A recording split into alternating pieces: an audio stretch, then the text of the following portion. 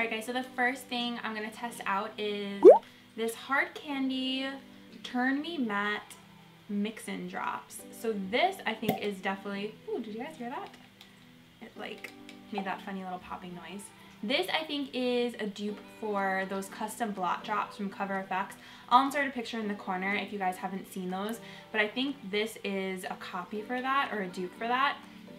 So all I have on right now is just some moisturizer. I'm gonna mix this in with my foundation and see if it makes it matte. So it says they're matte mix-in drops, a liquid mattifier that can be added to your moisturizer or foundation to leave a matte finish on skin, reduce pores, and control oil for all day wear.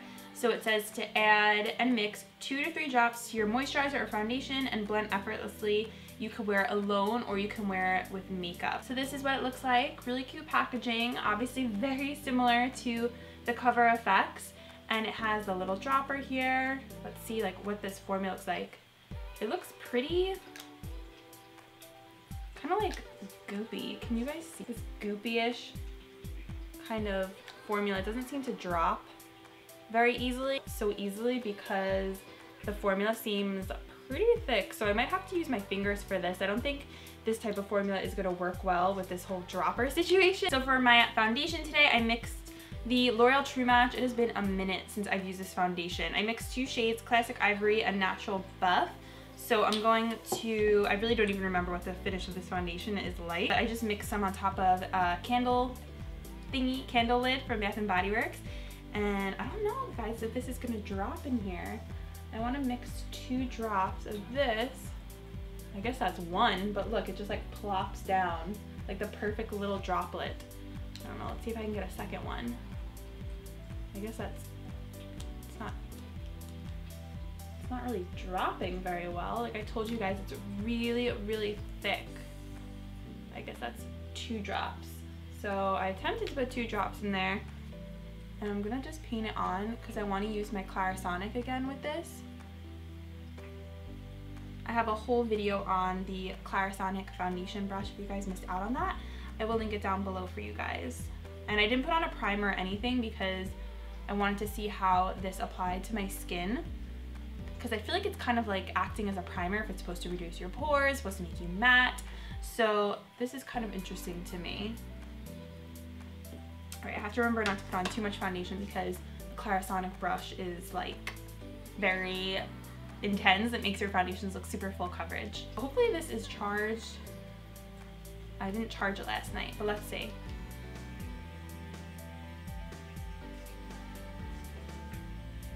Skin is definitely looking matte so far.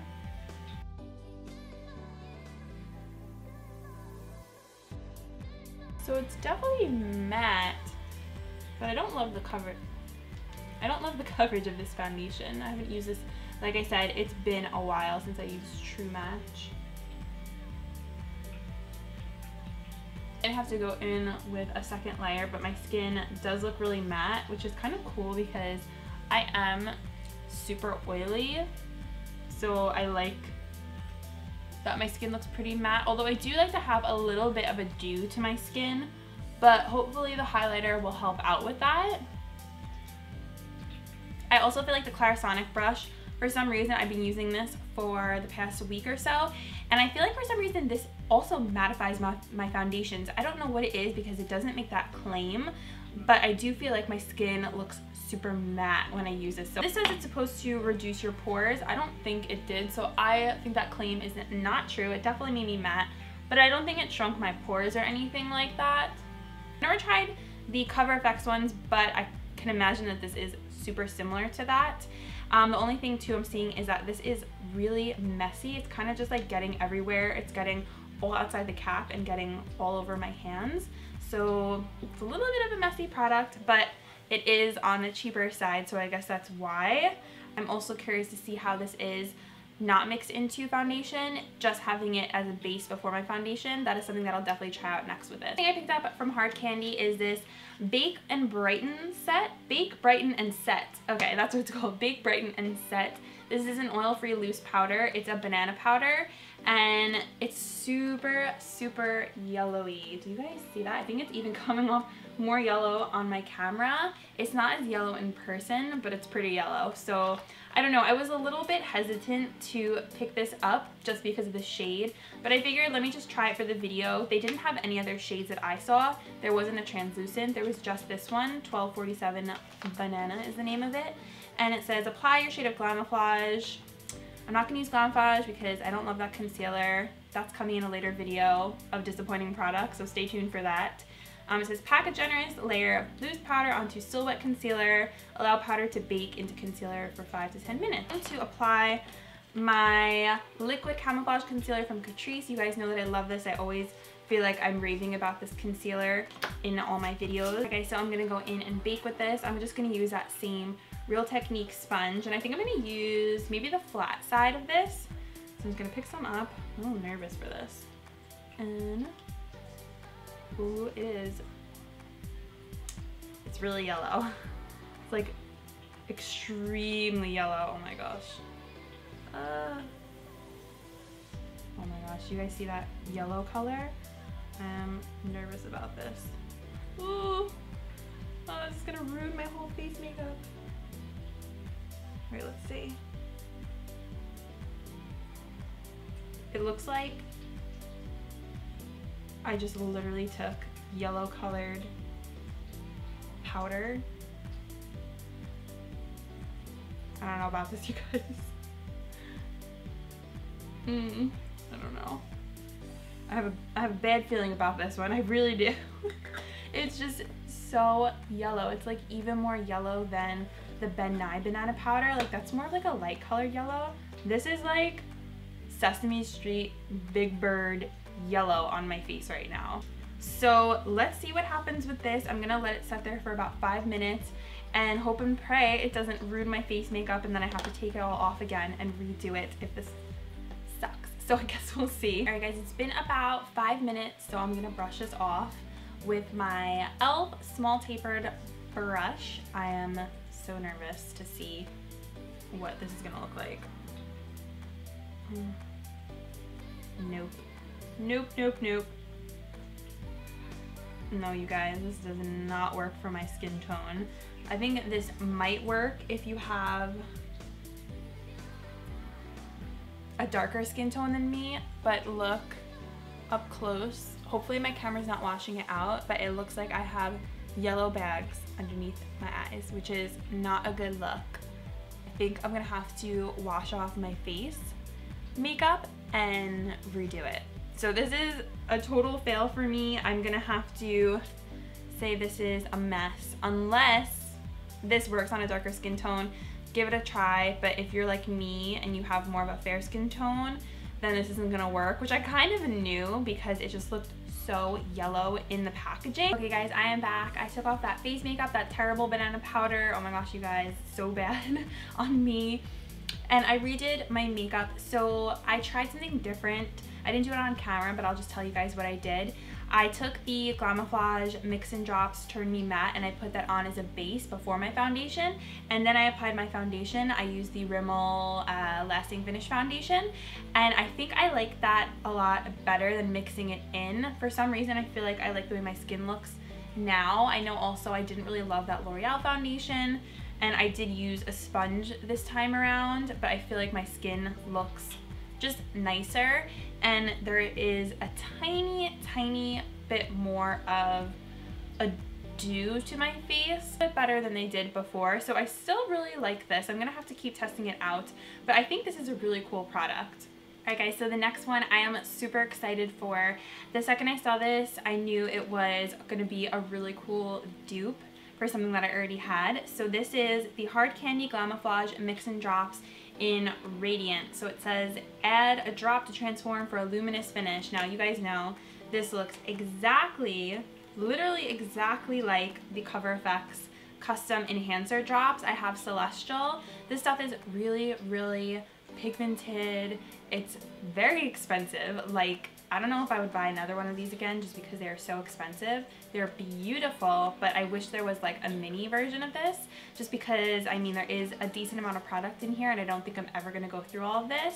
And I do really like these, but I'm curious to see if this is going to be the same consistency and the same type of look. I mean, sorry guys, the thing like popped out.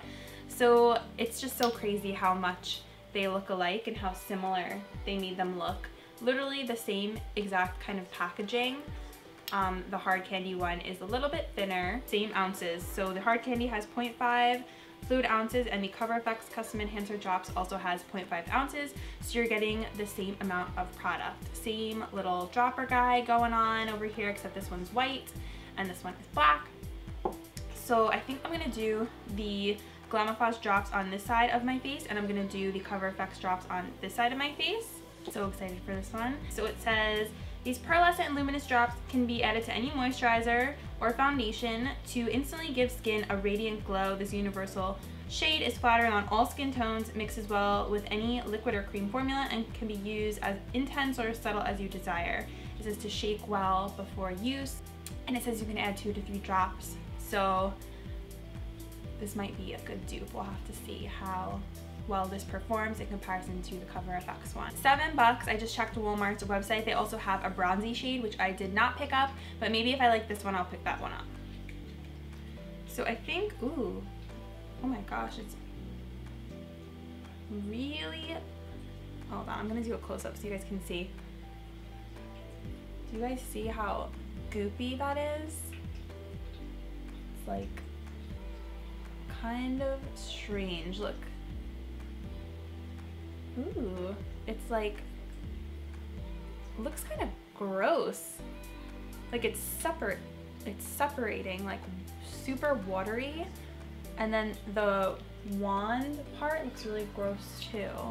It's a little better if you mix it on the back of your hand, but still the consistency is so strange.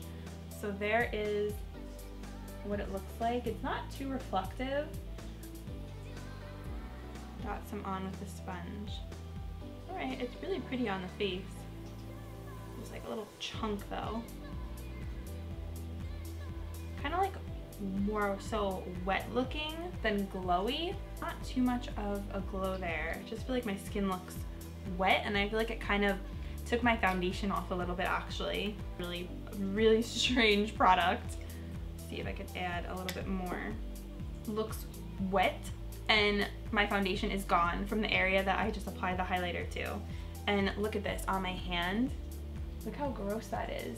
I'm gonna put the Cover FX on the other side of my face because we know this one is really good and has a nice consistency. So I'm gonna apply that. Super pigmented. And I'm just gonna, they look the same on the packaging, but that is where it stops. After that, they are really not similar. Literally, like I said, just Vaseline rubbed all over my face. And this one is beautiful, very pigmented, high shine. So next thing I'm gonna try out is this Hard Candy Incandescent Iridescent Pearl Highlighter. Iridescent effect on the skin. It's supposed to be a prismatic duochrome highlighter. And guys, I don't know. So far, a lot of this stuff is like a fail, so I am nervous to try out another thing. But it says that it has a spectacular luminescent glow that flatters all skin tones with light reflective pearl. So I'm just gonna apply this over the liquid highlight. So the packaging is really pretty. It has this holographic cover. I love that. I'm gonna feel it first. It looks super, super glittery, like chunks of blue glitter. So it's definitely not like a finely milled formula. Apply this onto this sad looking highlight over here. I don't think anything can help this right now. Ooh, it's pretty. It has like a pinky purplish kind of reflex to it. Let's see what it looks like over the Cover FX. If you get up really close to the skin, you can see those little bits of glitter, but it's not bad. It's not as glittery as like the Nicole Guerriero highlighter palette where the glitter literally just falls on your face even though I love that highlighter palette but I'm just giving you guys a reference. This is not as glittery as it but it still does have some in there and I really like the effect it gave on my skin definitely, definitely prismatic.